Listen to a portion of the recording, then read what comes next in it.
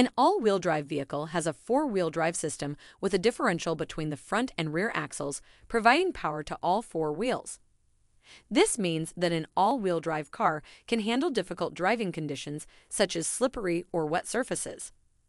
This type of car is typically more expensive than cars with just two-wheel drive, but they tend to be more fuel efficient and safer in bad weather.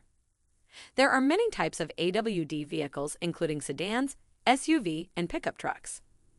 Here, we will discuss the concept of all-wheel drive cars and how it works.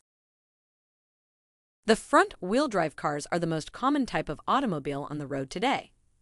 The front-wheel drive design ensures that all of the engine's power is directed to the wheels, which are situated in front. The disadvantages of this type of car is that it can experience a loss in traction with sudden acceleration and braking, especially when it rains.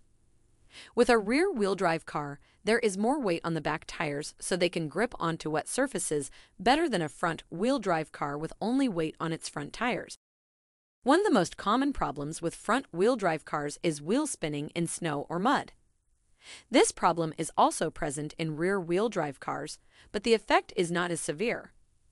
A rear-wheel drive car can have a more powerful engine that will keep the wheels moving no matter what the terrain which means that it will be able to move more quickly on dirt roads.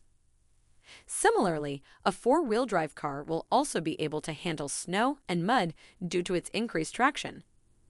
Front-wheel drive cars are not bad at all, they are just not ideal for these types of conditions.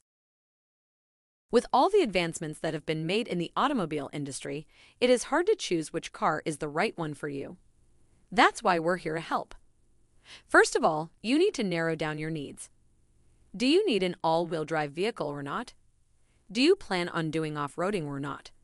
What about snow and ice riding? If these are important factors for your new car, then an all-wheel drive vehicle is for you. But if these are not that important factors for your new car, then it doesn't really matter what kind of drive system your new car has. Subaru and Audi are two of the notable auto manufacturers that offer a standard all-wheel drive system for their vehicles. The Audi has a 4x4 Quattro system, while Subaru offers a symmetrical AWD system. These systems provide more safety on slippery roads and in inclement weather conditions, while also providing a better driving performance.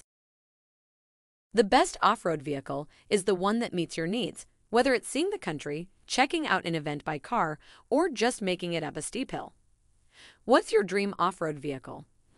Let me know in the comments below. Thanks for watching. If you'd like to see more videos like this, subscribe to the channel and don't forget to hit the like button. It really helps promote the channel. Until next time.